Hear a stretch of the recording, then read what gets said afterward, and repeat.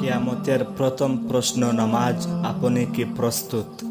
আমরা অনেকেই ঠিক মতো নামাজ আদায় করি না, কিন্তু নিজেকে মুসলমান দাবি করি। কিন্তু নামাজ আদায় না করিলে আপনি কখনো একজন খাঁটি মুসলিম নয়। কেননা নামাজ হলো ইমানের একটি অঙ্গ। আপনি ইমান এনেছেন, অথচ নামাজ আদায় করেন না। তাহলে আপনি কি করে একজন মুসলমান হিসাবে দাবি করেন? আবু হুরার রাজিয়াল্লাহ তালা আনহু বলেন রাসুল্লাহ সাল্লাহ আলিহি ওয়াসাল্লাম বলেন, কিয়ামতের ময়দানে বান্দার সর্বপ্রথম যে আমলের হিসাব নেওয়া হবে, তা হলো ওই নামাজ। উহা যদি বিশুদ্ধ হয়ে যায় তবে সে মুক্তি পেয়ে গেল, অসফল হলো।